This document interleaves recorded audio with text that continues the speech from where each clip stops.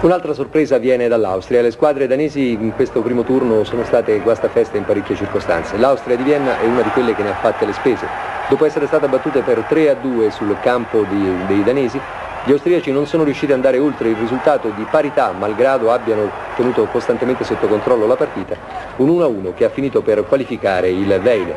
Il gol è venuto al 35 del primo tempo, ad opera di Brille, come vediamo adesso nelle immagini, un lungo lancio in profondità, la classica azione in contropiede, i danesi sono riusciti a passare. Poi si è scatenato l'attacco dell'Austria di Vienna, che è la squadra prima in classifica nel campionato austriaco tuttora, ma non sono riusciti a passare o quantomeno sono riusciti a pareggiare con un gol all'inizio della ripresa ad opera di Gasselic, ma non è stato sufficiente ovviamente a eh, mettere al sicuro la qualificazione.